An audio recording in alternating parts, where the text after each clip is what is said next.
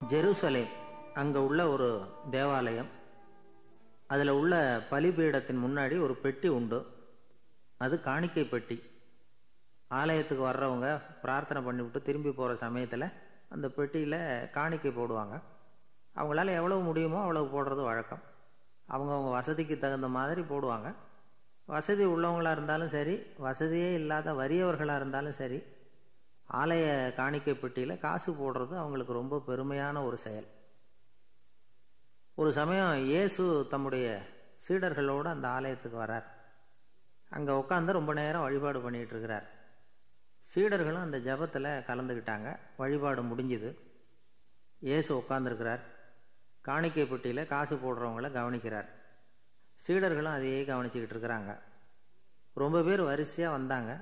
அவங்களால முடிஞ்ச அளவுக்கு காசு போட்டுட்டு அவங்க பாட்டுக்கு போய்கிட்டு இருக்கிறாங்க வசதியானவங்க நிறைய பேர் வந்தாங்க. அதுக்கு மத்தியில் வயசான ஒரு அம்மா அவங்களும் வந்து காசு போட்டுட்டு போகிறாங்க இப்போ இயேசு தன்னுடைய சீடர்கள் பக்கம் திரும்பினார். ஒரு கேள்வி கேட்டார். இப்போ இந்த காணிக்கை பெட்டியில் நிறைய பேர் வந்து காசு போட்டுட்டு போகிறத நீங்கள் கவனிச்சிங்க. இன்றைக்கி இந்த காணிக்கை பெட்டியில் ரொம்பவும் அதிகமாக காசு போட்டது யார்? அப்படின்னு கேட்டார். முதல்ல வந்தார ஒரு பெரிய மனுஷன் அவர் தான் அதிகமாக போட்டார் அப்படின்னார் ஒருத்தர். மூணாவதாக வந்தவர் தான் அதிகமாக போட்டார் நான் கவனித்தேன் அப்படின்னாரு இன்னொருத்தர். இப்படி ஆளுக்கு ஒரு விதமாக சொல்கிறாங்க கடைசியாக இயேசு சொன்னாராம் இன்றைக்கு அந்த பெட்டியில் அதிகமாக காசு போட்டவங்க அந்த வயசான அம்மா தான் அப்படின்னாராம். சீடர்களுக்கு ஒன்றும் புரியல. அந்த அம்மா ரொம்ப ஏழையாச்சே அவங்க எப்படி அதிகமாக காணிக்கை செலுத்த முடியும்? அப்படிங்கிறது அவங்க சந்தேகம். இயேசு விளக்குனார். நிறைய பேர் வந்தாங்க. நிறையவே காசுகள் போட்டாங்க. அது உண்மைதான். ஆனாலும் அந்த அம்மா என்ன பண்ணாங்க? கவனிச்சிங்களா? வந்தாங்க. தன்னுடைய காசு பையை திறந்தாங்க. அப்படியே கொட்டினாங்க.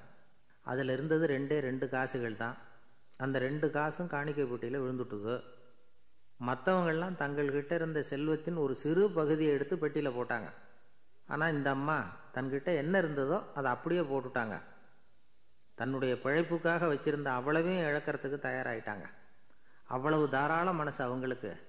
அதனால் அவங்க செலுத்தின காணிக்கை தான் அளவில் அதிகம் அப்படின்னார். விலை மதிப்பில்லாத முத்து புதையல் ஒருத்தனுக்கு கிடைக்க போகுதுன்னு வச்சுக்கோங்க. அதன் மதிப்பை உணர்ந்தவன் என்ன பண்ணுவான்? அதை அடையிறதுக்காக தன்கிட்ட இருக்கிற எதையும் கொடுக்கறதுக்கு தயாராக இருப்பான் இல்லையா? அது மாதிரி தான் இதுவும் அப்படின்னார்.